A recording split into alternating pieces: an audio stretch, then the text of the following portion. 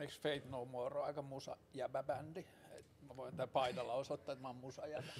Kyllä se. Kaikki vaan wow. Niin, oh, he knows music. Toi on musa. Kaikista bändipaidoista. Toi jäbä hengittää musaa. yeah. Impressive. Kuuleeko internet? Jos joku kuulee internetissä, niin sanokaa joo. Joo. Ollaanko me liven? Me ollaan liven. Hei, tervetuloa Karlen keskusteluohjelmaan. Tähän pitää tähän alkuun tehdä se Will Ferrell läppä, että puhuu kaikille kolmelle kameralle väärää aikaa silleen, että se ohjaa ja menee ohi niistä aina. Moi ja tervetuloa. Ah, moi ja tervetuloa. No niin, moi.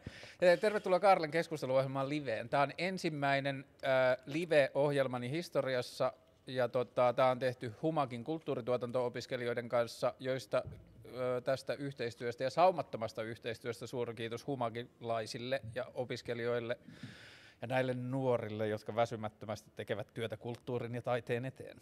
Tota, se, mitä tämä ohjelma käsittelee, selviää tämän ohjelman aikana, joten en yritä selittää sitä etukäteen. Mutta tota, otetaan ö, sisään ohjelman vieraskaarti. Aloitetaan sieltä minusta katsottuna vasemmalta. Kuka olet ja mistä tulet? Joo, mä oon Pietro Wikström, artisti nimeltä Kuopus. Oot se teidän perheen vanhin lapsi? Et. Siis nuori lapsi. Eikö niin nuori? niin, aivan totta. Joo, olen nuori. No niin, hyvä, sentään. Uh, joo, ja tota, mm, tosiaan on rap- ja spoken word artisti, uh, mutta myös näyttelijä ja teatteritaiteen maisteri. Ja jotenkin tuun ehkä niinku, vähän jotenkin sieltä myös niinku, tähän niin, jotenkin musakentälle. Uh, ja, ja mitäs, Imatralta kotoisin, mutta asunut jo yli 10 vuotta Helsingissä. Ensimmäinen levy tuli tuossa elokuun lopussa. Hmm. Onneksi olkoon. Sitten. No mä oon Maiju Talvisto. En ole artisti, mutta työskentelen lavan takana, eli Flow-festivaalilla Head of Artist Relations nimikkeellä. Ja siellä mä oon työskennellyt vähän reilu kymmenen vuotta nytten. Ja sitä ennen mä oon ollut Porjatsissa pari vuotta ja tehnyt siinä ohella sit niinku eri esittävän taiteen prokkiksia. Ja kun tämä nyt on opiskelijoiden kanssa tehtävä, tehtävä ohjelma, niin ehkä oman koulutustaustan mainitseminen voi olla ihan paikallaan.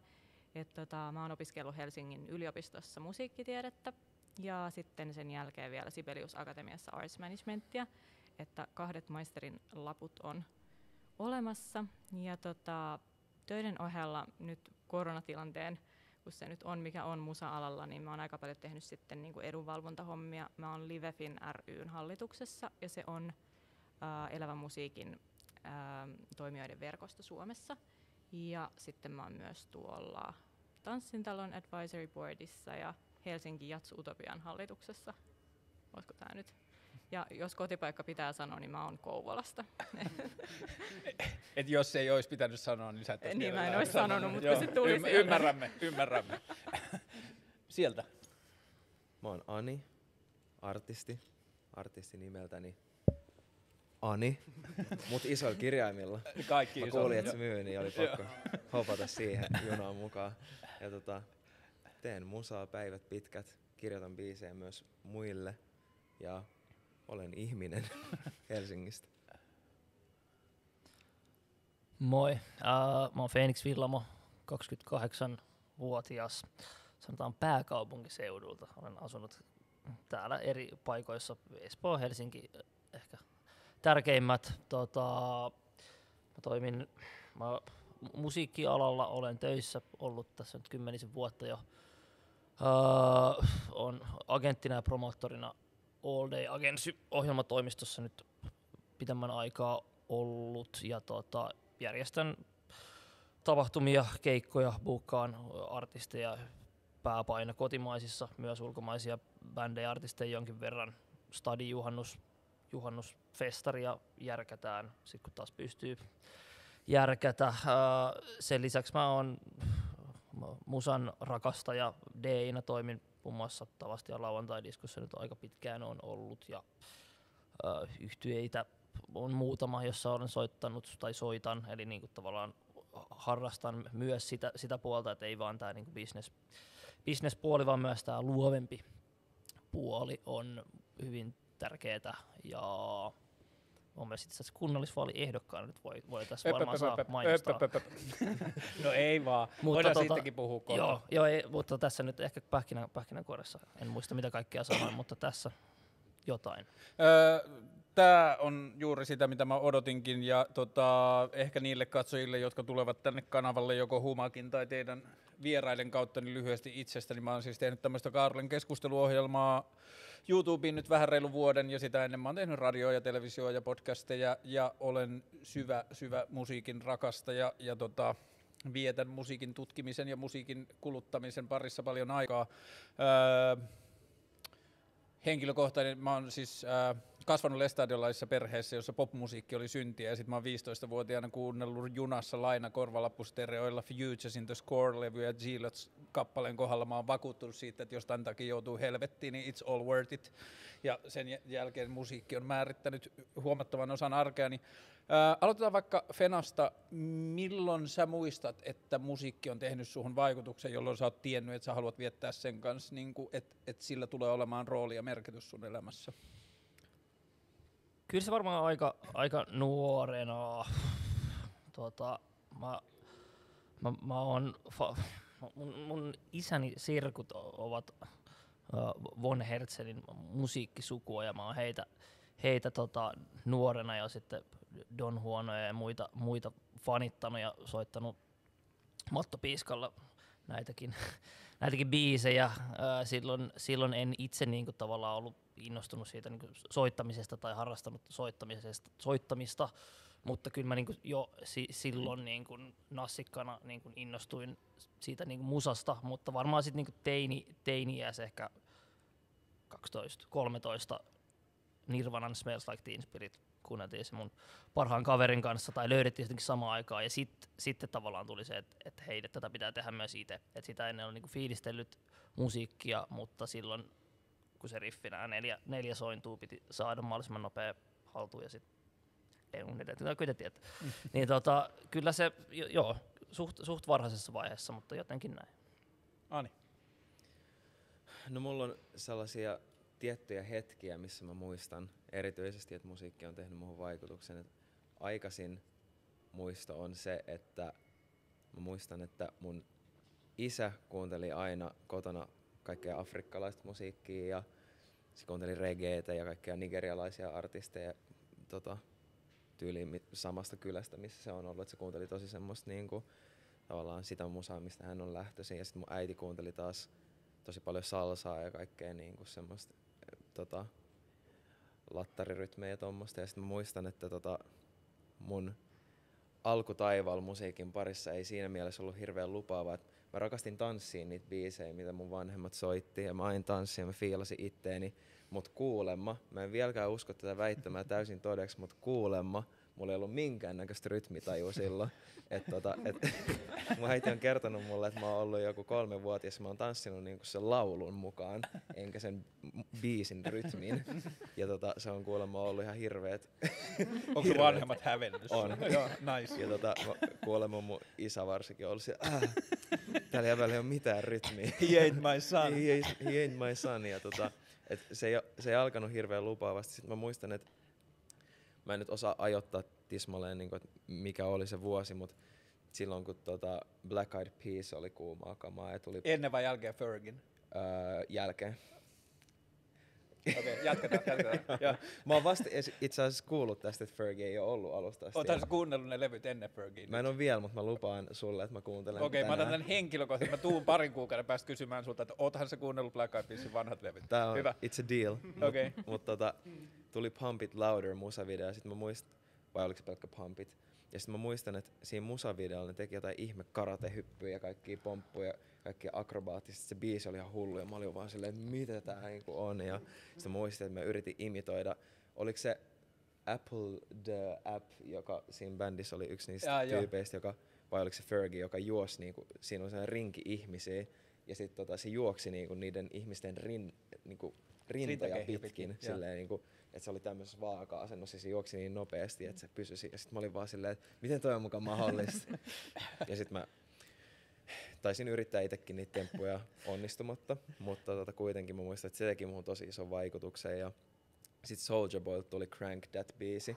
Ja sit se oli semmonen just, että siinä oli varmasti myös mukaan sitä, että se oli tummaihoinen artisti ja mä olin tummaihoinen pikkupoika ja sitten mä näin Soulja Boy oli niin leijan näköinen ja se teki niitä sen tanssiliikkeet ja mä olin vaan silleen, että tää on nyt niinku, tässä on jotain. Ja sit se oli ensimmäinen kerta, kun mä muistan, että mä oikeasti kiinnostuin musiikista ja mä aloin miettiä, että voisiko mä olla esimerkiksi laulaja tai Minkä ikäinen tai ollut? whatever. Mä oon ollut silloin varmaan joku kymmenen ish.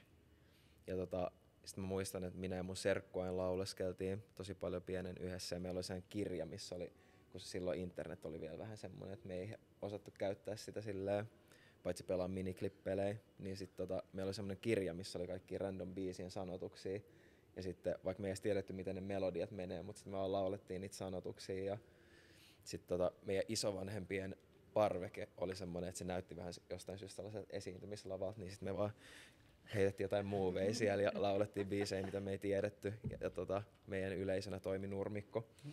Niin tota, silloin mä muistan, että mä eka kertaa olin silleen, että musta tulee joko isona, musta tulee joko laulaja tai jalkapalloilija.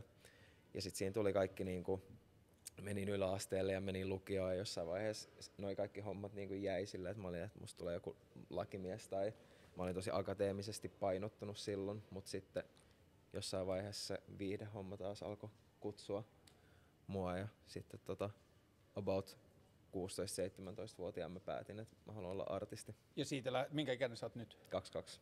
Että sä oot nyt niinku muutaman vuoden sitten tehnyt täysillä sitä. Joo, tai no mulla oli siinä ohella juonsin su- Ylen summeriohjelmaa. Aa. Mä olin siinä muutama vuoden, että se oli niinku prioriteetti, mutta siinä samalla mä koitin koko ajan opetella just, että miten säveltää biisi ja miten tota laulaa ja miten tuottaa ja näin. Että tota, et se alkutaival alkoi silloin, mutta sitten mä oon varsinaisesti keskittynyt täysiin musaan ehkä jonkun kolme vuotta Hmm. nyt.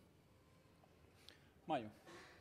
No mulla on kans niinku ihan lapsuudesta lähtien jotenkin harrastusten kautta lähtenyt. Et mun pääsoitin on ollut piano, nyt mä nyt aika harvakseltaan soittelen.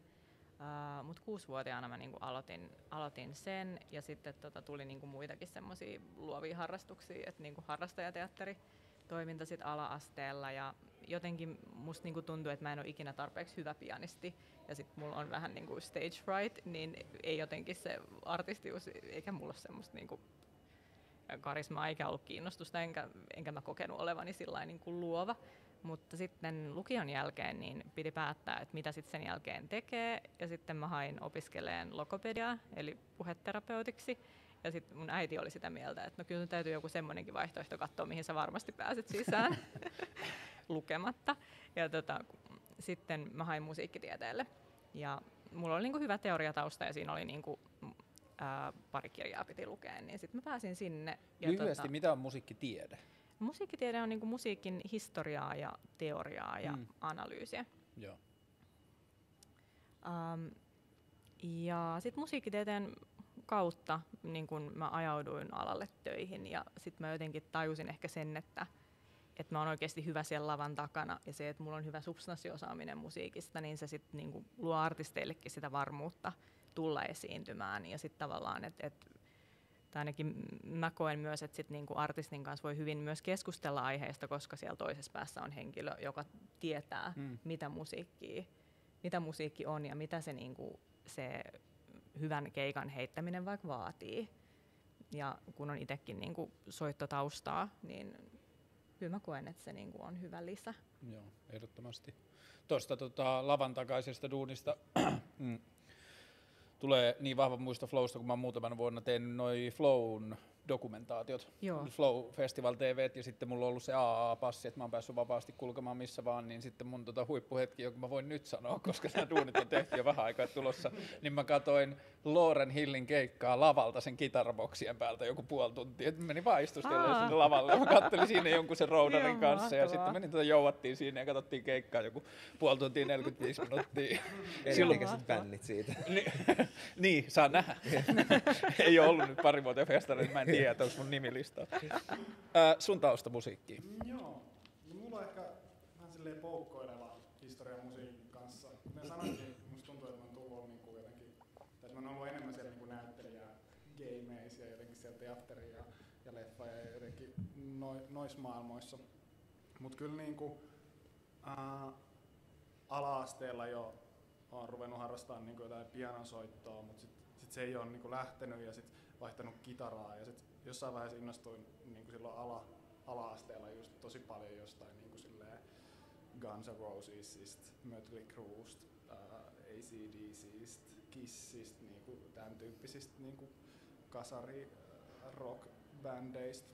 Uh, ja ehkä niin kuin jotenkin sit jotenkin miten oma historia tämän niin kuin vaikka rapin kanssa on, niin ehkä siitä on esimerkiksi hyvä, hyvä sanoa, että, että vaikka mun vanhin isoveli joskus, mä muistan siis mä oon ollut varmaan jotain kuusi vuotta silloin, mutta se on jäänyt joku semmoinen asenne, että mun vanhin isoveli on niinku uhannut polttaa mun toisen isoveljen ää, lökäpöksyt, jos se hankkii sellaiset. Ja se oli sitten taas todella tämmöisiä niinku metalli, metallikavereita. Että tavallaan joku semmoinen asenne on, on jotenkin pysynyt siellä aika pitkään, että et rap ei ole niinku oikeita musaa hmm. ja näin. Uh, ja tota, sitten vasta oikeastaan niinku yläasteen puolella, mulla yksi semmoinen kaveri Imatrat, joka on edelleen mun tosi hyvä ystävä, niin, niin se sitten alkoi tutustuttaa minua vähän niin kuin laajemmin musiikkiin ja, ja se, sillä oli tosi, tosi laaja musiikkimaku, niin sit yksi hänen niin kuin oikein semmoinen projekti oli, että se saa mut niin kuin innostua hip-hopista ja rapista. Mikä oli se rap tai hip-hop, joka, joka sitten vihdoin onnistui siinä? Mm, mä en ole ihan varma, oliko niinku ensimmäisenä Laineen Kasperi. Hmm. Uh, mä oon itse asiassa just viime päivinä niinku pohtinut tätä mun historiaa niinku rapin ja hip-hopin kanssa. Kiitos, kiitos myös niinku niiden esimerkiksi Jebojahin, joka on niinku viime päivinä just niinku, uh, nostanut, nostanut näitä asioita taas kerran esiin, niin jotenkin ihan vasta viime aikoina mulla on tullut semmoinen niin kuin näistä kysymyksistä semmoinen, niin kuin, että oikeasti reflektoinut aika syvältä niitä omia asenteita, niin kuin just räppiä kohtaan ja, ja tietynlaista räppiä kohtaan ja näin. Uh, niin kyllä mä menin aika suoraan sinne niin kuin jotenkin uh, ru, runollisen suomi-räpin maailmaan, hmm. mistä mä innostuin ja mikä on sitten vaikuttanut tosi, tosi pitkälle tota, ää, tota sit siihen, mitä itse tekee. Mutta just, just itse asiassa mun kaverin kanssa tota, puhuttiin tästä, että et vaikka vaik hänkin niinku yritti mua sit tutustuttaa vaikka siihen, että mistä kaikki on lähtenyt ja siihen niinku, ää, jotenkin mm, hip-hopin niinku mustaan historiaan ja, ja näin, niin tota, ää, mulla oli tosi paljon kaikkia tekosyitä sille, että miksi mua ei niin sit kiinnostunut se, koska mä olin kiinnostunut siitä kielestä ja sitten mä en ymmärtänyt niin kuin, uh, englantia ja sitten se, se, siinä jotenkin mulle se näyttäytyi niin kuin tosi paljon machoiluna ja, mm. ja semmoisena, mitkä mä oon niin kuin nyt jälkeenpäin tajunnut, että ne on ollut tavallaan vaan tekosyitä silleen, että, että kyllä mun silti pitää tuntea se historia. Mutta to- mentiin nyt ehkä vähän jotenkin... Ei, kun tämä on se pointti, että mennään juuri tällä tavalla. Ja mm. sitten toi Lainen Kasperihan on sillä tavalla hauska referenssi, että noin senkin, se taitaa olla Lappeenrannasta. Että se on niinku Itä-Suomi. Se on lähellä. Kyllä. Niin, kontakti. Mm. Mutta sitten toi, että mä oon syntynyt 80-luvun alussa mm. ja sitten mun kiinnostuminen hiphoppiin on tapahtunut oikeastaan jo ennen Suomi hiphoppia, että, mm. niin kuin, että se on tullut siitä niin kuin amerikkalaisesta rappikulttuurista, mutta sitten on huomannut, mulla nyt on taas sitten niin kuin 15-vuotias kidi tai poika ja sen kautta pystyy katsoa niin kuin nuorison suhdetta musiikkia. Okei, se on mennyt aika samoja polkuja sen rappikiinnostuksen kanssa, mutta löytää just junnuja, joille se suomalainen niin kuin musiikin runollisuus mm. ja tietyllä tavalla just Leider, Kasperi ja Rugerhauer mm. ja niin kuin semmoinen, joka niin kuin eittämättä ja kiistämättä kumpua hip-hop-musiikista, mutta että siellä on sitten lähes yhtä vahvana myös niin kuin suomalaisen runouden perinteet ja mm. suomalaisen niin kuin, tietyllä tavalla kielenkäytön perinteet ja muuta, niin tämä on ollut tosi tosi mielenkiintoinen tämä nyt viime viikolla sunkin mainitsema, tai viime viikkoina käyty sunkin mainitsema keskustelu, jossa on puhuttu siitä sen musiikin juurista ja siitä, että minkälainen se suomalainen versio siitä musiikista on ja mitä sen pitää tietyllä tavalla ymmärtää ottaa mm. huomioon. Mm. Öö, Ani, keskustelun ainoana ei niin kuin, täysin suomalaisen, niin kuin, perinteisen valkoisen suomalaisen näköisenä ihmisenä. Miltä tämä keskustelu on sulle tuntunut? Se on ollut aika, aika silleen, tosi hyvä, mutta samaan aikaan jollain tavalla myös aika raskas siinä mielessä, että tuntuu jotenkin, että on kuitenkin, vaikka kokee itsensä täysin suomalaiseksi ja on kasvanut ja syntynyt Suomessa, niin silti kun näistä asioista puhutaan ja huoneessa on yksi tummaihoinen eli minä, niin mm. siinä, siinä jotenkin silti niin kuin väkisinkin, vaikka mä kuulun samaan joukkoon, mutta tulee vähän semmoinen niin kuin ulkopuolisuuden tai semmoinen niin kuin, sehän tietynlainen niin kuin kuumottava fiilis jollain tavalla. Mä en tiedä mistä se johtuu, koska tämähän on niin kuin täysin positiivinen asia, että näistä mm. asioista puhutaan ja että näitä nostetaan, nostetaan pinnalle ja sitten tulee just se niin kuin, fiilis siitä, että mikä on mun vastuu tässä keskustelussa, että osallistuks mä tähän suomalaisena kantaväestön edustajana, mikä mä kuitenkin sisällä niin koen mm. olevani, mm. vai pitääkö mun jotenkin pitääkö mun nyt ottaa kantaa tähän tummaiheisena ihmisenä, vai niin kuin, että, että mikä on se mun rooli tässä asetelmassa, niin se on ollut vähän silleen monimutkaista ja sitten mä en tiedä, että kun mäkään en tiedä kaikkea ja, ja niin kuin, mulla on omat arvoni ja mä, mä haluan välittää niitä eteenpäin, mutta sitten niistä on jotenkin silleen niin kuin vaikea puhua jotenkin niin kuin oikealla kielellä. Ja et, et siinä on tosi paljon semmoista, tosi paljon asiaa, mihin pitää vielä tottua, koska tämä on mullekin niin uusi juttu, että näistä asioista edes puhutaan. Et silloin kun mä oon tullut musiikille puolitoista vuotta sitten, pari vuotta sitten, ei ollut läheskään näin paljon keskustelua näistä asioista, mitä on nyt, mm. mikä on tosi jees, niin toivon, että se ajan kanssa helpottuu. Ja niin kuin mä sanoin, mä oon tosi iloinen, että näistä asioista puhutaan ja että tehdään selvästi, ainakin tässä kuplassa, missä mä elän, niin tehdään selvästi tosi paljon edistystä ja, ja se on hienoa. Se on ollut hieno huomata myös, niin kuin, että itselle ehkä se suurin signaali siitä, kuinka tärkeää ja välttämätöntä ja niin kuin odotettua tämä keskustelu on, on ollut se, että kun on seurannut niitä verkkokeskusteluja, joita tämän ympäriltä on käyty, niin hirveän ison osan myös esimerkiksi kantasuomalaisten ihmisten kommenteista on siitä heidän hämmennys omista tunteistaan, mm. siitä, että miltä se keskustelu tuntuu. Ja se kertoo siitä, että tämä keskustelu on selkeästi niin kuin kerännyt jännitettä ja kierroksia pitkään, kun sitä ei ole käyty. Yep. Öö, musta tuntuu, sano Fena, jos mä oon väärässä, mutta musta tuntuu, että All Day-toiminnassa on aina näkynyt jotenkin alusta asti semmoinen niin pyrkimys tämän, niin kuin jotenkin tämän kulttuurikentän penkomiseen ja laajentamiseen. Onko se ollut teillä siellä niin kuin tälleen ohjelmabuukkauksessa ja teillä on kuitenkin paljon ääntä siitä, että kuka näkyy ja ketkä näkyy, niin onko se ollut jonkunlainen kela teillä mukana siinä toiminnassa?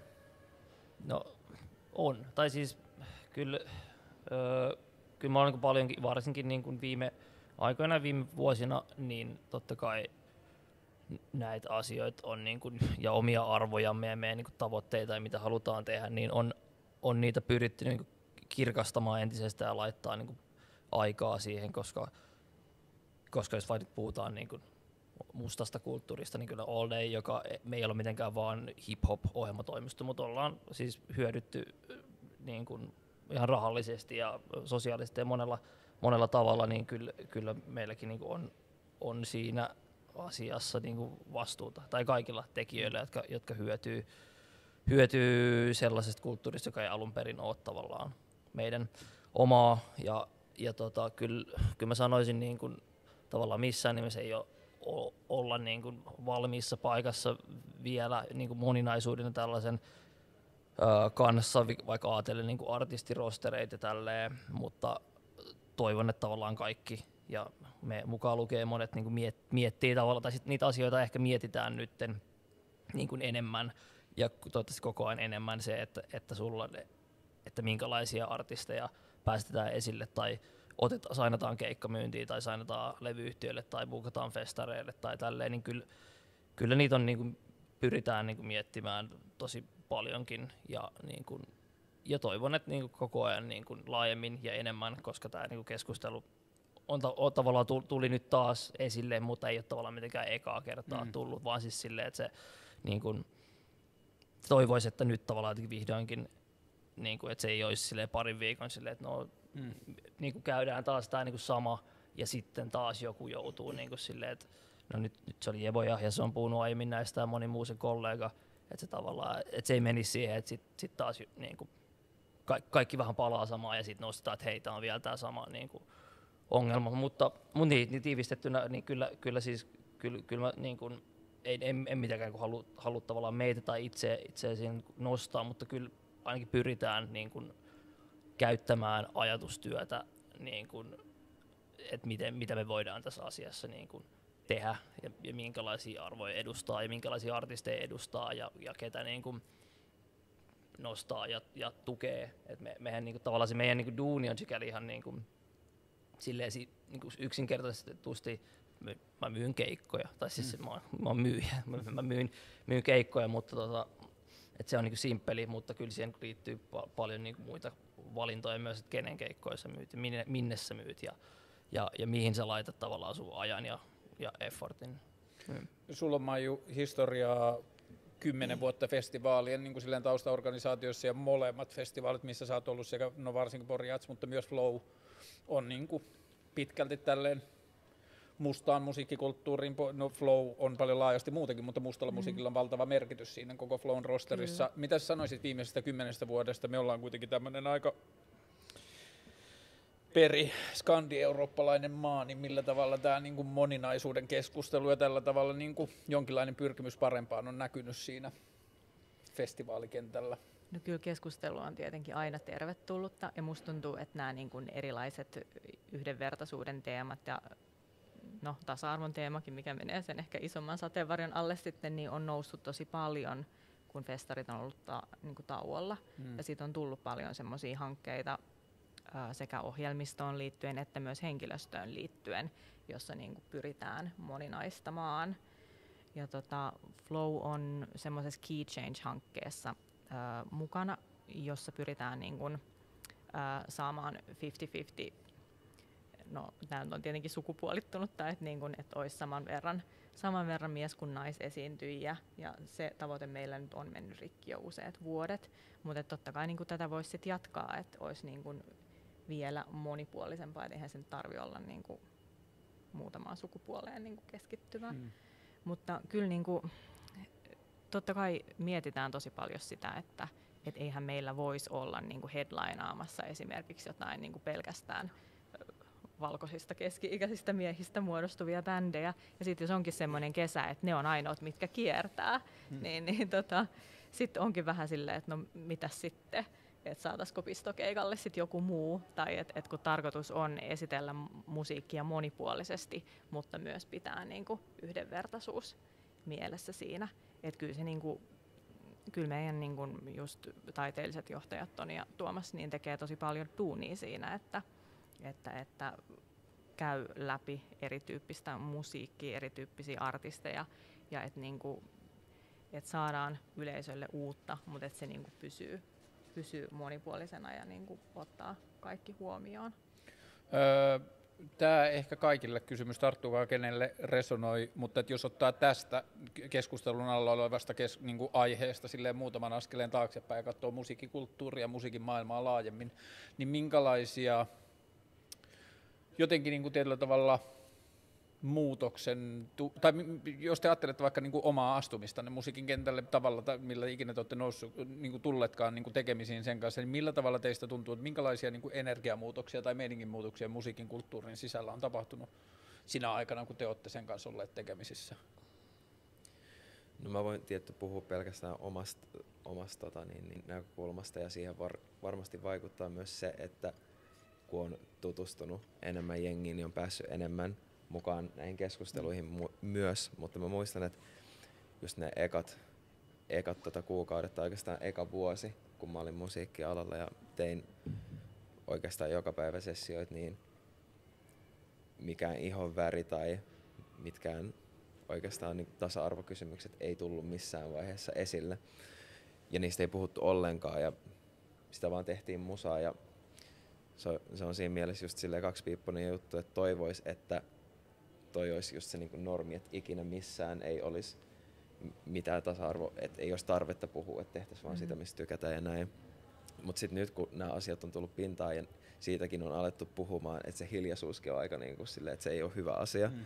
niin on tajunnut sen, että, että näistä asioista puhutaan tosi paljon enemmän ja sen, että se ei ole ollut hyvä juttu, koska silloin mä elin just semmoisessa kuplassa, että nice, että mä niinku teen täällä biisejä ja kaikki hyväksyy mut ja hyvä meininki ja näin, mutta sitten kun niistä asioista ei puhu, sä et voi ensinnäkään tietää, että kuinka paljon joku oikeasti hyväksyy sua, että hyväksyykö se sut silleen, että te voitte tehdä session niin kuin yhdessä ja näin, mutta että mieluummin hengaa vaikka valkoisten kanssa tai näin, että et, et se on niin kuin, siitä keskustelua on tullut tosi paljon enemmän, mikä on tosi jees ja siihen varmasti vaikuttaa myös tosi paljon nämä ilmiöt ja se, että some kasvaa koko ajan ja tulee enemmän jengi sinne.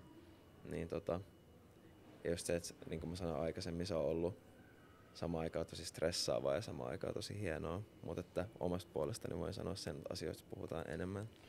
Toi on myös sellainen asia, joka ehkä tuntuu jotenkin välillä että sitä ei niinku kaikessa, tai niinku, että näkyy paljon sellaista internetkommentointia, jossa just tota kulmaa ei tunnuta tajuavan, että sitä keskustelua käydään siksi, että sitä ei tarvitsisi käydä. Niin.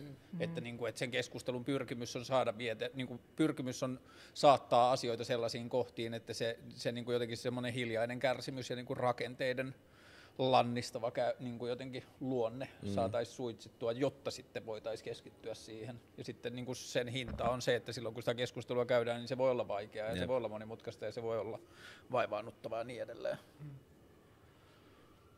Muita huomioita?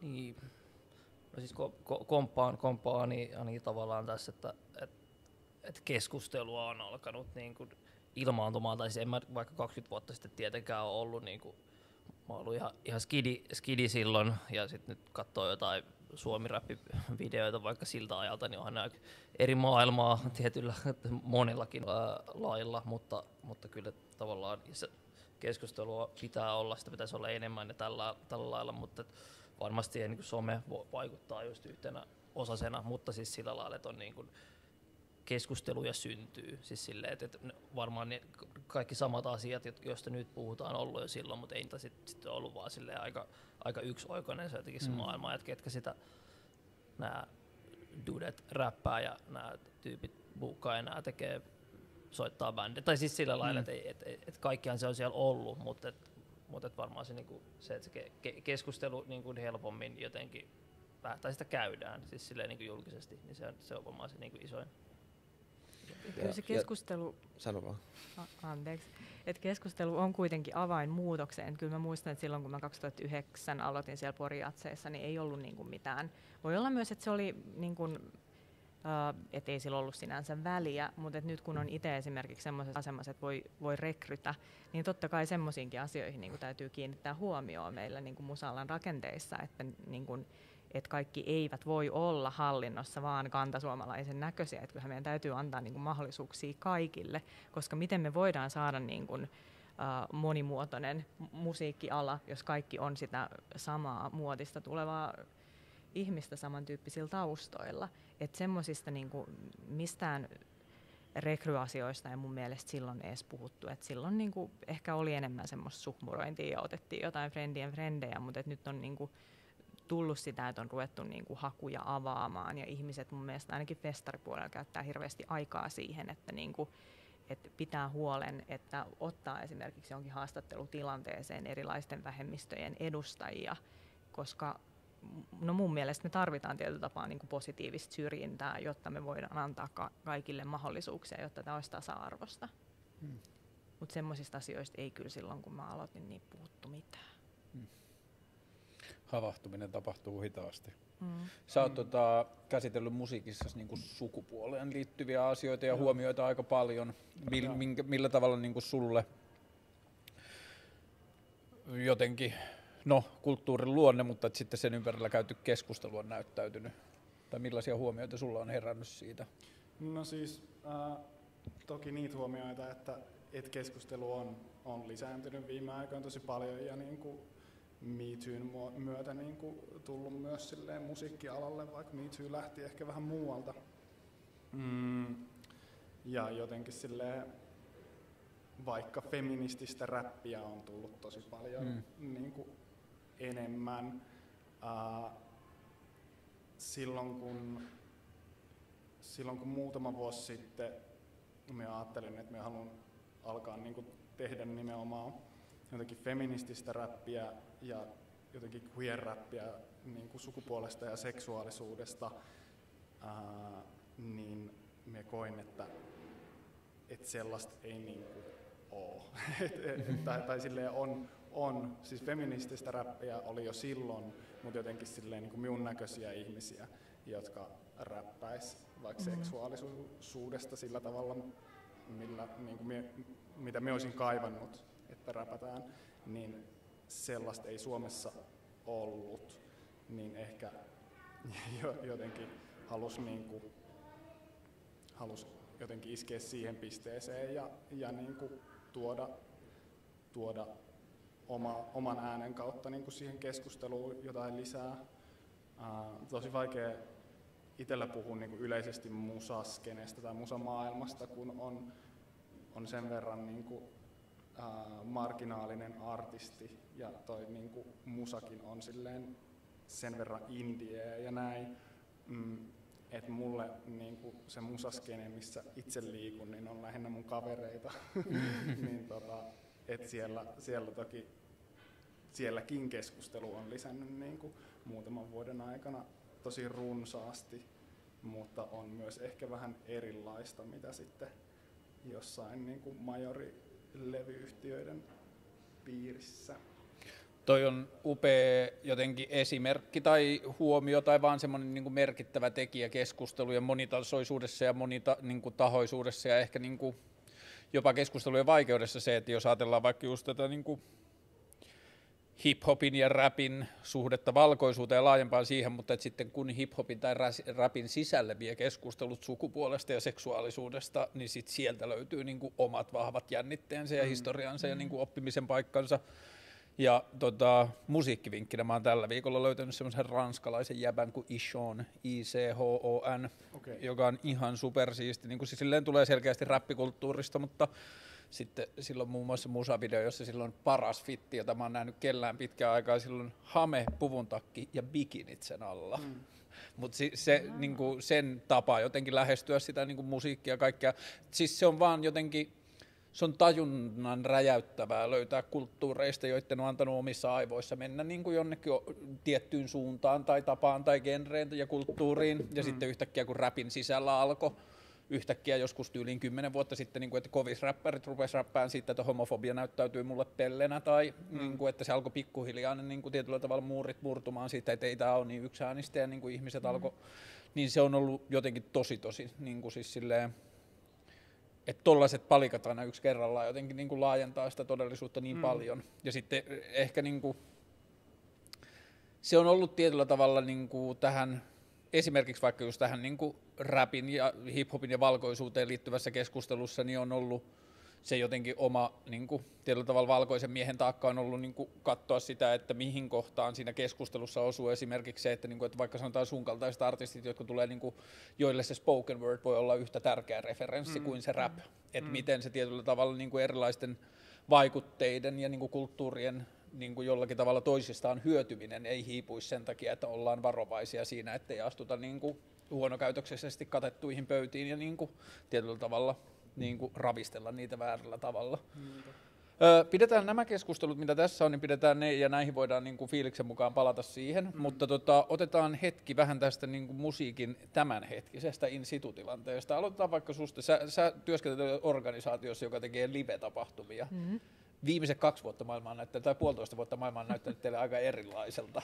Joo. Lyhyt raportti kentältä. no kentällä on, on kaiken näköistä olotilaa. Itse voin tällä hetkellä suht hyvin ja olen töissä, mutta työnkuva, artistituotanto on vähän niin ja näin. Että tota, tota, tota, totta kai me niinku valmistellaan tapahtumia turvarajojen mukaan, mutta että saa nähdä sitten, että mitä se niinku kesällä tarkoittaa ja tuleeko sitten kesää. Uh, mutta tämä aika on mun mielestä ollut hyvä kuitenkin kaikenlaisille tapahtumajärjestäjille, että mekin ollaan niinku päivitetty just tähänkin teemaan liittyen meidän esimerkiksi yhdenvertaisuussuunnitelmaa ja code of conductia ja, ja tiettyjä teemoja on noussut pinnalle, uh, mitkä, mitkä ehkä muuten, muuten olisi jäänyt jotenkin niin ehkä sen kiireen alle. Mutta mutta ihan jännittävä kyllä nähdä, että mitä tästä sitten niinku nousee tästä meidän niinku taukotilanteesta ylipäätään, että tuleeko paljon konkursseja ja ketä meitä on sitten tämän jälkeen ylipäätään tekemässä, vai tulisiko sitten ehkä konkurssien myötä sitten jotain semmoisiakin firmoja, joilla on sitten meitä paremmat arvot esimerkiksi. Hmm. Onko isoja toimijoita live-alalla vielä mennyt konkurssiin niin kuin globaalisti? Uh, siis ei kyllä ole. Sitten on ollut noita ostoja mun mielestä kansainvälisesti, mm. mutta tota, yllättävän vähän on niinku ollut lappuuluuhul mun mielestä. Et voi olla, että tässä nyt sitten keväällä tilanne eskaloituu, mutta katsotaan. Totta kai niinku toivon, että kaikki, kaikki pärjäisi. Ja niinku mm. öö, ehkä jos tulkitsen oikein, niin Fena työskentelee ehkä vähän niin kuin samoissa asioissa, mutta pienempien yksiköiden kanssa, niin onko tulkintakentältä oikea, että tällä hetkellä vähän niin kuin laskuja maksajaksi on joutunut aika paljon niin kuin freelancerit ja pienet toimijat? Öö, joo, kyllä, tai siis, tai sä sanoit, että näin, että se isku on niin kuin tavallaan se kolahtaa koviten, niin sä ajattelee, no, vaikka niin kuin yksittäisiä freelance-toimijoita, niin pieniä lafkoja, missä niin muutamat kaverus tekee vaikka hommia tai yrittäjä tai, tai tällä, tällä lailla, koska, koska se niin kuin bufferi, minkä sä pystyt, mm. jos silleen, kulttuurialalla jengi toimii toki niin kuin into, intohimosta sieltä, eikä silleen, että mä, mä teen mä oon valomies, koska sit saa niin sikana rahaa, että se ei ehkä ole välttämättä se niinku motivaatio, mutta kun ei pysty tavallaan ö, kasaamaan sellaista, niinku, että, että jos sun lähtee vuoden duunit, niin niin kyllä se tavallaan kolahtaa, kolahtaa eniten sinne, missä niin kuin, ja toki voi isoihin, isoihinkin yrityksiin, niillä on toki isot, isot kulut myös paljon henkilöstöä, mutta niin kuin tavallaan sellaiset, jotka on aika itekseen sen kanssa ja vähän ehkä jotenkin tukimalleja ja muiden ulkopuolella, niin kyllä se sinne, niin kuin, sinne on koviten,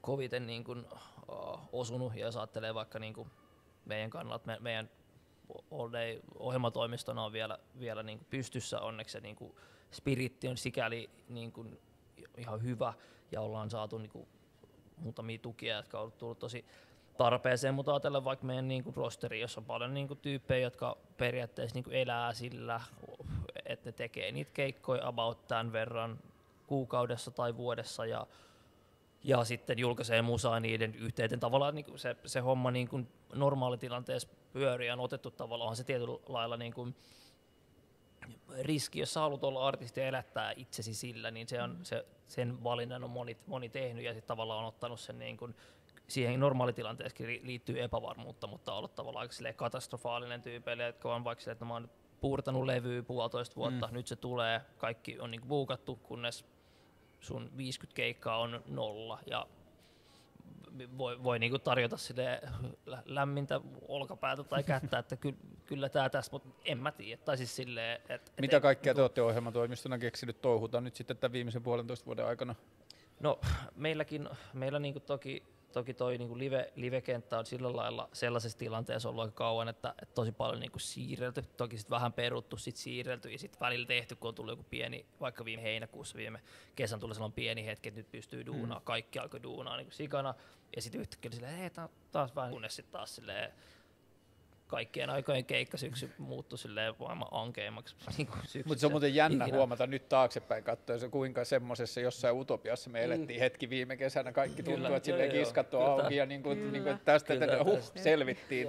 ja sitten nyt näyt, käyrät näyttää siltä, että ollaan taas nousukäyrällä ja kyllä. herra yksin tietää ja hänkään ei kerro.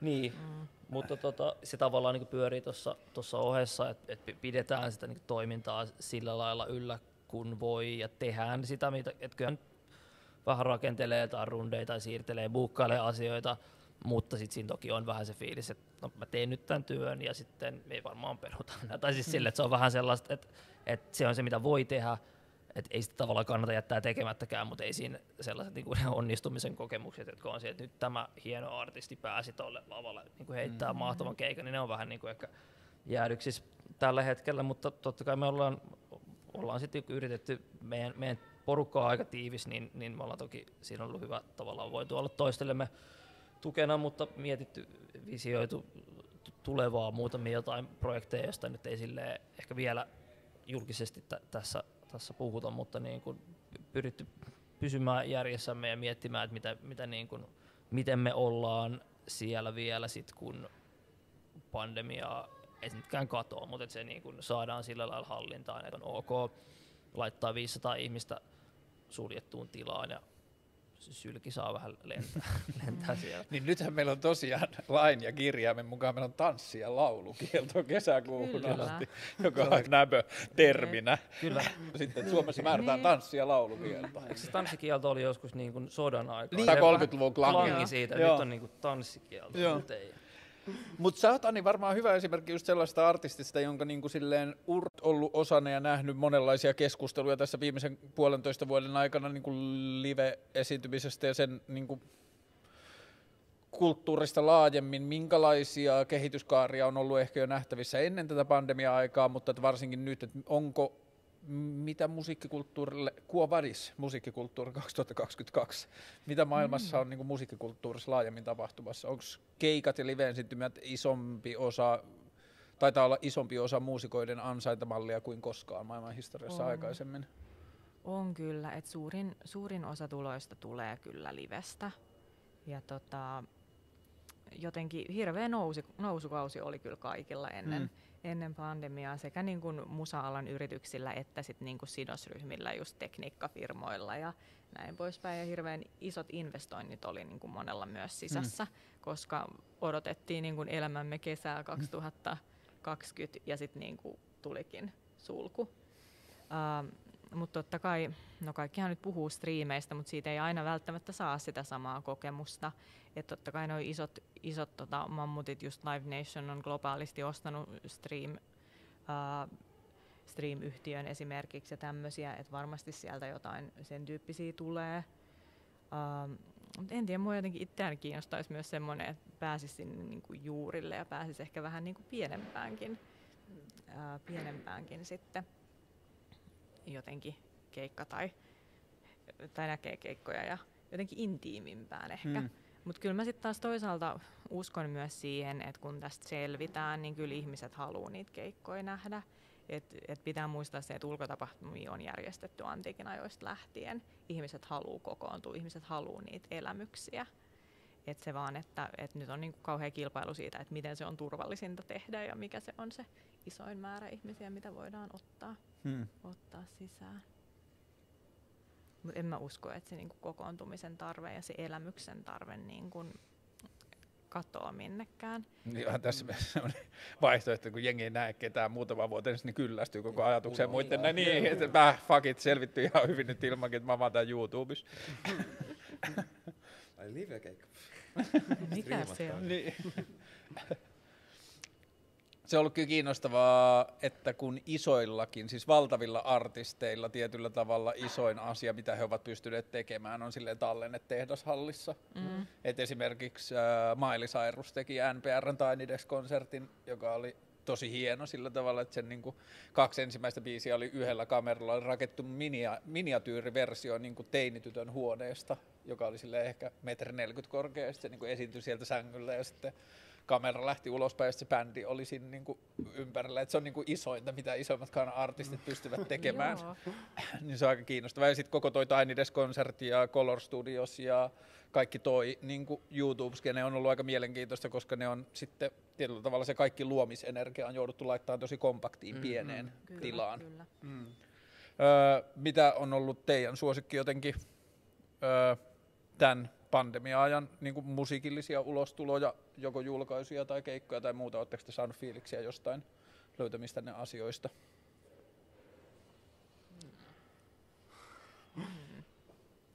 Mutta voiko toisaalta ajatella, että tämä on niinku aika monelle myös niinku luovan alan ammattilaisille, koska tämä on kuitenkin ollut niinku aika henkisesti vaikeaa aikaa tai sille henkisesti vaativaa aikaa, niin onko tämä ollut niinku aika monelle myös sitten tai tuntuu, että toinen vaihtoehto olisi ollut, että olisi tullut paljon silleen rauhassa ja tyhjiössä ja niin kuin silleen suljetussa tilassa tehtyjä levyjä ja epoksia, mutta sitten tuntuu, että tosi moni on ottanut myös semmoiseksi vähän niin kuin luovan alan lomaksi, mm. tietyllä tavalla pakkolomaksi siitä tekemisestä, kun tämä on ollut niin vaativa tämä niin kuin henkinen ympäristö.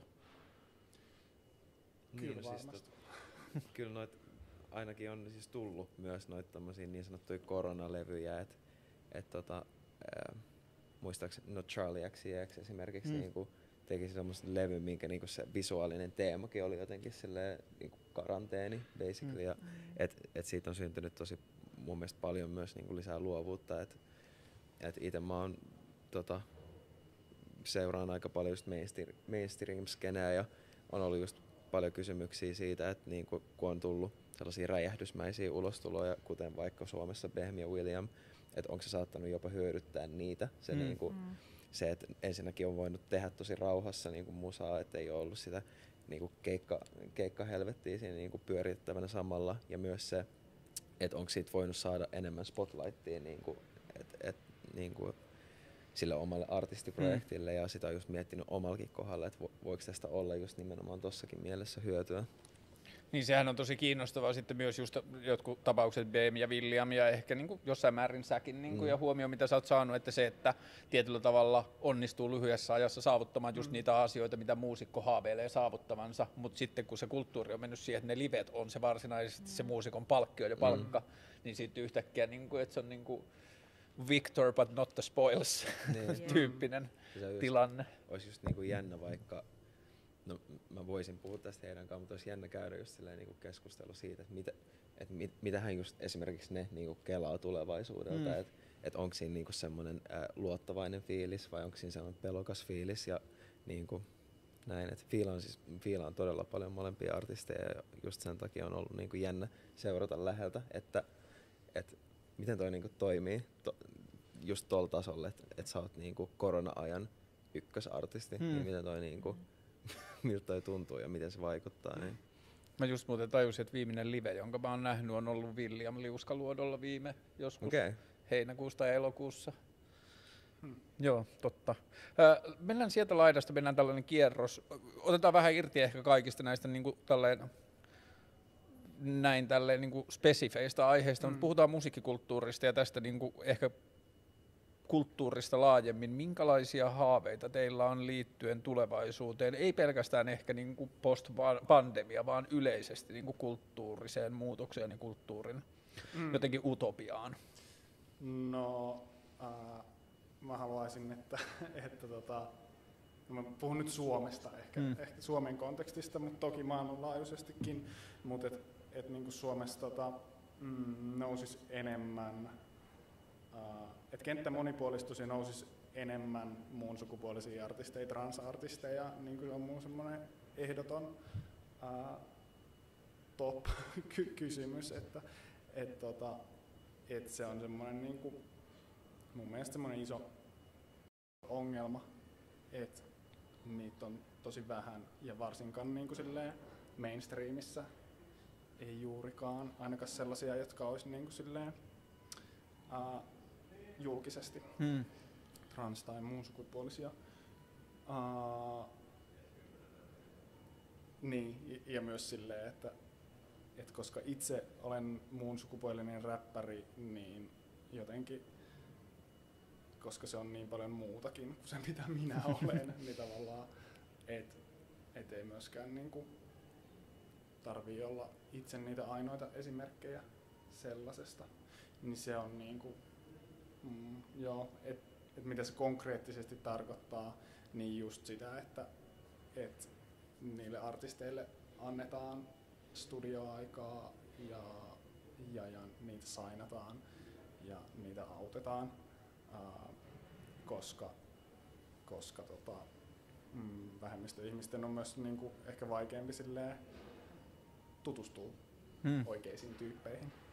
Niin ja tuossa täytyy muistaa ehkä just se, että niinku se avun, avun ja tuen tarve on poikkeuksellinen, mm. silloin kun niinku tullaan uudenlaisena tai e, niinku jolla, jollakin sellaisella tavalla kentälle, mitä ei ole paljon ennen nähty, niin se on aina niinku mm. niinku tuplasti vaikeampaa. Mm. Ja, ja niinku tähän liittyy ehkä just nämä niinku positiivisen diskriminaation Mm. aiheet ja muut, mistä puhuit, että, niin kuin, että ne on asioita, joihin täytyy kiinnittää Mm. huomiota. Mm. Joo, ja nythän oli esimerkiksi uh, Monspil oli se bootcamp, uh, bootcamp mistä Mm. tuli tota, se uh, mixtape nyt. Ja musta esimerkiksi se, mitä Iida Karimaa puhui niin kuin Hesarissa siitä, niin oli musta, niin kuin, hän puhui mun mielestä tosi, tosi hienosti ja mun mielestä sellaista toimintaa, että et, tota, järjestetään tollaisia niin bootcampeja, mi, mihin niin kuin, otetaan vaikkapa sukupuoleltaan moni, moninaisempia ää, tyyppejä mukaan, niin, tota, niin se on esimerkiksi yksi, yksi sellainen niin kuin konkreettinen keino Hmm. tähän. Joo. Maiju ja Utopia. Joo. Haaveet. No mä toivoisin ainakin, että jo, ehkä jatkan vähän tähän, tähän liittyen, että tosiaan toivoisin niin kuin entistä monipuolisempaa niin kuin kulttuuri- ja musiikkiskeneä vieläkin tästä. Ja näin ollen siihen liittyisi myös se, että meillä olisi kulttuurille hyvin paljon erityyppisiä tiloja ja että ne olisi turvallisia tiloja. Mutta nyt niin kuin esimerkiksi tämä niin kuin pääkaupunkiseudun keikkapaikkatilanne esimerkiksi on tosi huolestuttava. Et kyllä mä toivoisin, että niin kun kulttuurille ja musalle löytyisi niitä tiloja, missä, missä ihmiset vois käydä niin kun sitä liveä katsomassa. Ja että se kulttuurin arvo jotenkin niin kun nousisi vielä tämmöisen just no, pandemian jälkeen. Niin, tämä on mun mielestä ehkä myös se yksi kiinnostava, että voisiko pandemia olla osaltaan auttamassa siihen, mutta että globaali kehitys oli kuitenkin mennyt jo vähän siihen suuntaan, kun livestä tuli jotenkin se uusi, tuli sellainen kultaryntäys, niin kuin Mm. tietyllä tavalla viimeisen kymmenen vuoden aikana, niin sitten syntyi pa- paljon va- valtavia konglomeraatteja ja niin kuin isoja toimijoita ja isoja tapahtumia ja niin kuin tietyllä tavalla areenakeikkaa ja muuta, että auttaisiko tämä sitten pandemian jälkeinen aika niin kuin jollakin tavalla myös pirstaloitumaan sitä energiaa, että tietyllä tavalla isoja juttuja tapahtuisi myös pienessä mittakaavassa enemmän. Mm. Kyllä, ja jos on niin kun pienempiä artisteja tai vaihtoehtoisia artisteja tai näin, niin et eihän, ei kaikki voi myydä heti sitä areenaa. Mm. Mm. Ja kyllä kaikkien pitää niin kuin saada keikkakokemuksia. Ja mun mielestä niin kuin, ja kaikilla on myös oikeus nähdä kaiken tyyppistä kulttuuria, isoa tai pientä tai Mm. mm. mitä ikinä. Niin kyllä niin kuin meidän pitää alana myös tehdä sen eteen duunia, että niin kuin se olisi mahdollista. Hmm. Ani, No mä toivon ainakin just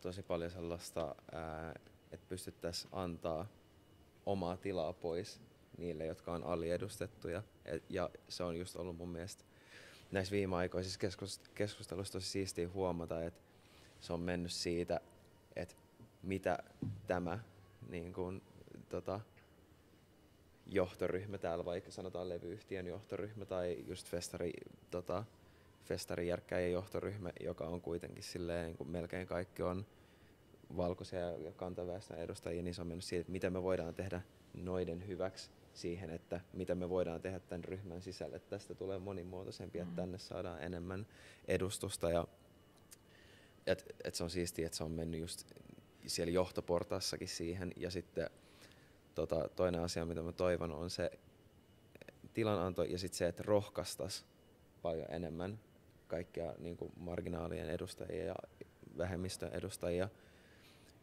tekemään sitä, mitä ne haluaa ja rohkaistaan siihen, että sä voit menestyä ja että sulla on tilaa ja sulla on mahdollisuuksia. Et esimerkiksi just se bootcamp oli mun mielestä ihan niin kuin silleen, mä olin mä oon edelleenkin shokissa siitä, että miten se voi olla ensimmäinen Mm. tai ensimmäisiä Mm. tommosia, mitä on järjestetty. Että et tollasia pitäisi olla niinku aivan jatkuvasti mun mielestä. Ja, noist, et, ja mun mielestä niin, mä oon puhunut tosi paljon siitä, miten paljon mä arvostan Ida Karimaat siitä, että se teki ton jutun ja tarvitaan lisää semmoisia tyyppejä, jotka, jotka hoitaa sitä niin kuin ihmisten rohkaisemista, koska jos mä just mietin sitä, että minkä takia vaikka, mikä on se syy, että Suomen vaikka mainstream popskenessä ei ole mun tietääkseni tyyli yhtäkään vaikka trans- tai muun sukupuolista ää, esiintyjää, niin johtuuko se siitä, että yli viiden miljoonan ihmisen maassa ei ole yhtäkään ää, tätä vähemmistöä edustavaa ihmistä, joka olisi tarpeeksi mielenkiintoinen tai hyvä, Mm. vai johtuuko se siitä, että, että niitä ihmisiä ei rohkaista tarpeeksi ja että, se, että siinä on semmoinen niin uskalluskynnys mm. ja, niin kuin semmoinen ja, ja varmasti paljon myös niin kuin ihan semmoista suoraa syrjintää ja semmoista niin kuin suoraa diskriminointia ja semmoista älä tuu tänne mentaliteettia, mutta että siinä on varmasti ihan sikana just sitä, että tuntuu, että toi ei ole mun paikka, niin mä en niin kuin halua mennä tonne, niin si- siihen mä toivon ylemmiltä tahoilta semmoista muutosta siihen, että, että sanotaan, että, että, että kyllä tämä on sun paikka ja että täällä on tilaa ja niin kuin, että sä pystyt tähän ja sä oot hyvä. Tuo on mun mielestä hieno huomio, tai siis ää, toi, mitä sanoit tuosta niin tietyllä tavalla johtoryhmien ja päättävien niin kuin tietyllä tavalla valtaa pitävien ihmisten suhteesta ja niin kuin roolista siinä muutoksessa, niin se esittää tai jotenkin alleviivaa laajemman haasteen ja ongelman, joka meillä on, niin kuin, joka on tämä niin kuin tietyllä tavalla saavutettuista eduista luopuminen, joka mm. ei millään tavalla liity pelkästään musiikkiin tai popkulttuuriin tai kulttuuriin, mm. vaan niin kuin yhteiskunnan toimintamalleihin ihan silleen niin kuin globaalilla tasolla, niin kuin varsinkin meihin länkkäreihin, niin toi on tosi tosi kiinnostavaa, että jos me jostain räpistä puhuessa vaivaudutaan niin paljon omine niin kuin fitted käppeinemme siitä, että se, on, se keskustelu on meille vaikea, niin ehkä se alleviivaa aika hyvin, että se keskustelu on isossa kuvassa aika todella alussa vielä. Yeah. Mm. Fena. Joo, Anita, hyvä pointti. Tavallaan voisi niin kuin, nappaa siitä kiinni ja jatkan niin kuin, uh, tavallaan, tämä ei ole mun mielestä mikään silleen, utopia, vaan silleen, että tämä on niinku tavallaan se, mihin on mentävä niillä, millä tahansa keinoin, mutta että jos uh, vaikka nyt joitain vuosia taaksepäin puhuttiin paljon niin kuin, uh, tai no just vaikka sille hip-hop-musan osalta, että et, et ei ole niin kuin naistekijöitä niin kuin juuri ollenkaan, ja silloin se tavallaan keskustelu, ei kaikilla, mutta sitä oli ilmoilla jotenkin, että joo joo, mutta ei niitä ole, tai jotenkin silleen, että et, et, et, kyllä me niinku buukattaisiin, mutta mut ei ole niinku mitään tarjolla, että sitten se on joku yksi, yksi silleen, no on meillä tämä niinku, Sinisavotakin on buukattu tänne tai tälleen, se on ollut jo pitkään kuitenkin tavallaan mm. gameissa, niin tavallaan, ja sitten tämä laajemmin koskien myös sitten niin kuin kaikkia sukupuolia ja kaikkea niin kuin moninaisuutta niin kuin yleisesti, että se niin kehitys pitäisi olla siihen, että et, et, et ei pääse niin kuin heittää tavallaan, siinä, niin kuin, jos sut koolautetaan tai vaan keskustellaan, että hei miksi muuten tämä teidän niin kuin, rosteri tai tämä teidän niin kuin, festarilainappi tai mikä vaan, että miksi tässä on, että et kun tämä laskee prosentuaalisesti, niin tämä on raaka fakta, että täällä on 90 pinnaa silleen, niin kuin valkoisia, siis mies oletettu tai tälleen, mm niin et, et se, et se vastaus ei voi olla siihen sitten, että et joo, että kyllä me niinku haluttaisiin, mutta et sitten et ei, ei, ei ole niinku tarjolla. Hmm. Ja tietenkin tavallaan kyllä siinä on myös silleen, että se festari toki niinku buukkaa, buukkaa siitä tai tapahtuma mikä vaan siitä, mitä on niinku tarjolla, mutta just se, että et se kehitys pitäisi mennä siihen, että sinne niinku saamaan, koska siis just tämä, että et 5 miljoonaa vai 6 miljoonaa pal- paljon meitä on, että etteikö löytyisi vaan niinku että se ei ole siitä kiinni, vaan se, että ei ehkä, että ei pääse vaikka missään vaiheessa silleen esille, että jos et on ihan sieltä täysin marginaalissa joko silleen tavallaan oman porukan kesken, vaan että ei pääse yhtään esille, tai että on vaan silleen niin kuin semmoinen fiilis, mä en, puhu, mä en voi omasta kokemuksesta puhua, mutta voisin kuvitella tavallaan, että jos on semmoinen, että tavallaan jos, jos ei ole te- tervetullut olo tai tavallaan silleen, että kummottaa, että voiko mä edes niinku tehdä mm. tätä, niin, niin, niin, se on tavallaan semmoinen, mikä mikä on varmaan niin kuin avain myös siihen, että, että olisi inklusiivisempi, että on, niin kuin, on mahdollisuuksia kaikille uh, päästä, päästä esille. Ja kyllä mä niin kuin, silleen, silleen, vaikka osaan olla pessimisti, niin haluan tavallaan uskoa, että kuitenkin silleen, että on niin kuin kehityksen askelia on kuitenkin nähtävissä, ei mm. mitenkään valmis maailma, niin kuin far from that, mutta silti jotain on tapahtunut, vaikka niin kuin, jos ajatellaan sitä, että viisi vuotta sitten ei ollut niin kuin, niin kuin hip-hoppia esittäviä naisia juurikaan niin kuin keikoilla, niin ei ole riittävästi vieläkään, mutta on jotain, on, niin mm. jotain on tapahtunut. Et se on niin kuin, siksi mä haluan uskoa, että kehitys on mahdollista. Uh, ehkä myös tämä on vähän tavallaan niin kuin, just ehkä liittyen tähän tämän hetkisen pandemiaan ja vähän niin kuin jotenkin poliittiseen ilmapiiriin, mikä saattaa olla sellaista, kun nyt tavallaan joo, meillä oli tavallaan se nousukausi ja kaikille meni hyvin tai niin kuin jollain lailla ainakin niin kuin ihan, ihan, ihan jees, niin sitten kun tulee tämmöinen kusinen tilanne, niin sitä on ollut aika paljon, että tavallaan kulttuuri ja taide ja tavallaan tämmöinen, joka ei ole iso teollisuus, niin on aika silleen, että no ekana vähän silleen pöydä, pöydältä Mm. Ja niin kun, että se, et ei se sitten niin tärkeää. Että sitten kun on kaikki hyvin, niin sit voidaan tuohon vähän laittaa resursseja, mutta kyllä siitä on niin kuin he, ek- ekana tavallaan helpoin niin kuin leikata tai jättää vähän silleen, että no kaikkihan me tiedetään, että tuolla nyt ei ole sit niin, niin väliä, mm. niin, niin jotenkin, ja tää, ei tämäkään musta ole utopia, tämä niin kuin riippuu siitä, että minkä, minkälaisia ihmisiä meillä on vaikka päättämässä jostain asioista tai tälleen, mutta sellainen kulttuurin niin kuin arvos, arvo, arvossa pitäminen ja silleen, että et sitä ei ajatella vaan niin kuin vaikka Fyrkan kautta, mikä ihan faktisesti vaikka kun tapahtuma-ala on ihan sa, niin kuin sairaan iso, siis silleen, että mm. se niin kuin työllistävä ja niin kuin rahallinen verovaikutukset, kaikki on niin kuin faktoja, mutta että sitä ei tarvitse tavallaan niin kuin olla perustelemassa sitä niin kuin taiteen tarvetta ja niin kuin merkitystä. Niin si, si, sella, sellaisen kehityksen tavallaan toivoisin, niin kuin, tai että tulevaisuudessa se, sellaiset keskustelut olisi tavallaan, että, että niitä ei tarvitsisi aina käydä, koska voi myös olla, että tavallaan tällaisia tilanteita toivotaan, että ei, mutta voi tulla joku uusi pandemia niin. tai mikä vaan, tai mm. joku lama tai sota tai mi- ja ympäristökatastrofit, nyt men, mentiin liian, tällä, ei mene sinne, mutta, tota, mutta silleen, että on mahdollista. niin. mutta siis kyllä mä oon miettinyt paljon tähän pandemiaan liittyen sitä, että jos tämä voisi olla jollakin tavalla, niin kuin, että jos miettii kärjistettynä, niin monella tavalla Siihen nyt on teknisiäkin syitä, että niin kuin kulttuuritapahtumien ja tällaisten tapahtumien rajoittaminen on niin kuin faktisesti mm. helppoa, kun mm. laitetaan papereihin merkintöjä, niin tietyt asiat voidaan helposti rajata pois. Mutta olen miettinyt paljon sitä, että onko niin kuin tällaisen tapahtumakulttuurin tai kärjistettynä nuorisoon liittyvän viihteen rajoittaminen, niin onko se myös sitten vähän niin kuin meille herätys siitä, että kenen ääntä poliitikot oikeasti pelkää? Että me nuoret ei olla kuitenkaan viime vuosina oltu kovin aktiivisia tuossa äänestysgeimissä.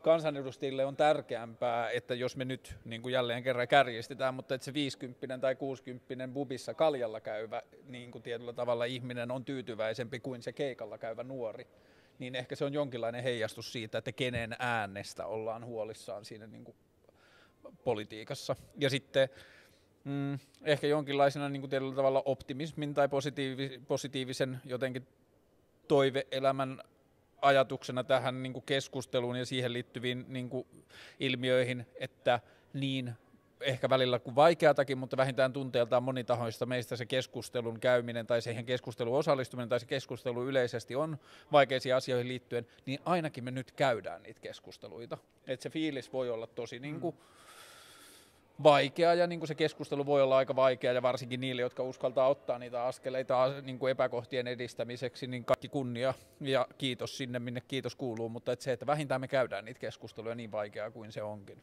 Hmm.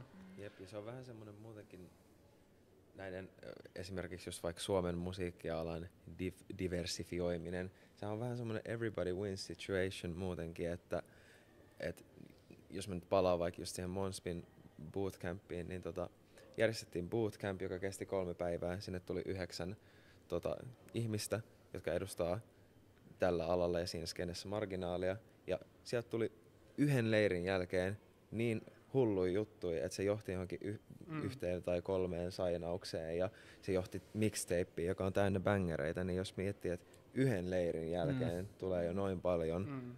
hyvää musaa ja uusia siistejä artisteja, niin mitä tapahtuisi, jos noita järjestettäisiin vaikka joka kolmas kuukausi mm. tai joka kuukausi. Ja, ja niin kuin, tai vaikka paljon... kolmesta eri lähteestä, että ne ei ole kaikki Monspin järjestäviä. Ju, just näin, ja silleen, että kuinka paljon loppujen lopuksi toikin, jos sieltä tulee niitä artisteja, jotka poppaa, mm. niin kuinka paljon myös taloudellista hyötyä tuosta on mm. niin, sille levyyhtiölle tai mille ikinä taholle, joka sitä järjestääkään. Et totta kai se vaatii investoinnin, mutta sillä, että jos miettii pitkällä aikatähtäimellä, niin jos sä pystyt täyttämään markkinaraon, niin sä tulet tekemään rahaa. Niin jos miettii mm. pelkästään siitäkin taloudellisestakin näkökulmassa, on vaan tosi silleen niin kuin looginen asia tehdä. Et, et niin kuin, et just kun tietää sen, että levyyhtiöt ja niin kuin bisnekset ylipäätään miettii, se on, se on vähän sillä toiveajattelu, että me saadaan niin kuin pelkästään sen moraalin kautta näihin asioihin muutos, vaan se pitäisi saada just myös niin kuin tehtyä selväksi, että hei, on myös taloudellisesti kannattavaa, niin just saying. Mm-hmm. Tota, mä luulen, että me aletaan olla niin kuin mun etukäteen ajattelemien aiheiden kanssa aika hyvin paketissa. Otetaan niin kuin vielä sanavapaa, onko ihmisillä huomioita asioita, mitä haluaisitte vielä tallenteelle todentaa? Mulla on aivan varmasti joku miljoona, mutta nyt ei tule mitään mieleen. Niin, ehkä, ehkä jotenkin komppaan vaan tota, tota ta- talouspuolta, kun itsekin pohtinut sitä, että, että tuntuu, että aika useasti sitä perustellaan just, just niin kuin kaikkea diversiteetin puutetta sillä, että, että, niin kuin, että se ei ole taloudellisesti mm. kannattavaa ja näin, mutta kyllä niin kuin tässä maailman ajassa, kun noista asioista kuitenkin keskustellaan niin paljon ja erilaiset silleen, uh, erilaiset ryhmät pääsee niin kuin tosi hyvin esille vaikka niin kuin sosiaalisen median kautta ja niin kuin, uh, syntyy niin kuin isoja kulttuureja, kulttuureja, niin kyllä sille vaikkapa muun sukupuolisten ja transihmisten niin kuin sille, tai artistien brändääminen, niin se ei voi olla enää niin vaikeaa mm-hmm. tässä ajassa. Et sen mä ymmärrän, että, että niin kuin mun oma musa on tosi marginaalista, silleen, tosi, tosi india ja näin, että, että mä ymmärrän, että sille ei välttämättä myydä niin kuin isoja areenoja täyteen, eikä ole tarkoituskaan. Uh, et mä en niin tässä ole silleen, että miksi minä en ole saanut niitä isoja levydiilejä, mutta silleen, että just kun uh, sitä trans- ja muun sukupuolista porukkaa ei ole tuolla niin kuin mainstreamissäkään niin kuin taida olla Suomessa oikein ollenkaan, niin, niin tota, se on niin hyvä pointti. Ja tuohon liittyy vielä se, että missä toivoo, että opitaan paremmaksi, on se, että niin kuin taloudellisten mittareiden ulkopuolella on esimerkiksi se, että no sanotaan vaikka nuorten ihmisten ahdistukseen, jotenkin semmoiseen eksistentiaaliseen kriisiin ja kärsimykseen liittyy paljon se ajatus, että ihminen kokee olevansa asioiden kanssa yksin, mm. joka on mm. niin kuin just